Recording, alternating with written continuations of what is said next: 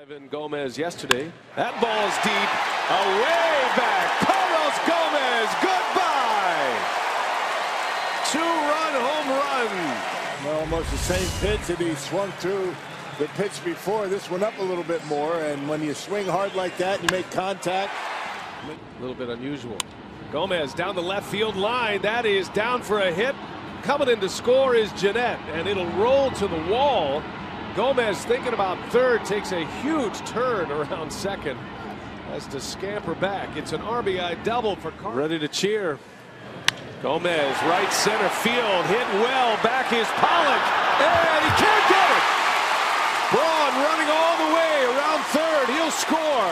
Gomez with an RBI double. Five to four. Hit 94.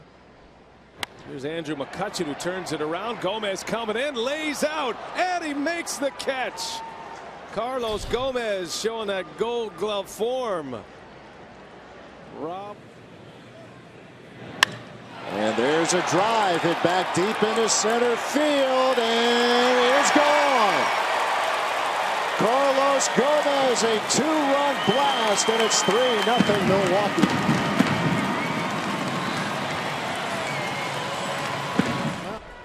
Fires, deals into right center. Shallow Gomez lays out and makes the catch. What Gomez and Parra put. And that one's hit high in the air, deep to left. Gomez will watch it fly. A grand slam. Carlos Gomez. Five RBIs tonight for Gomez. He picked outfield. Hard to imagine that this ballpark could hide that one. There's Drive 100. left center field. Back at the wall. See ya. Number 100 for Carlos Gomez. And that gets the Astros back closer. It's 4-3 now as he'll touch the plate. And he gets it into left center field. Scoring Rasmus 2 to nothing. Gattis into third base. Here's Young throwing it back into Gregorius, and that is a hustling double for Gomez. His fifth RBI with the Astros. In it.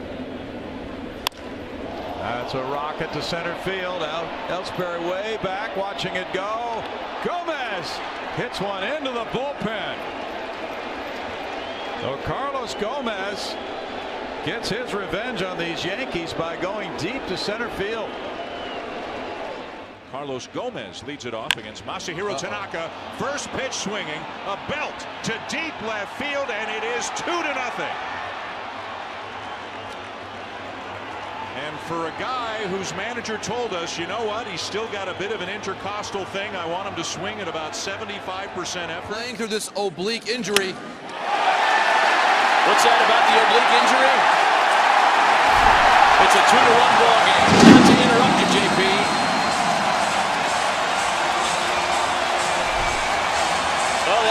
A flair for the dynamic, does he not?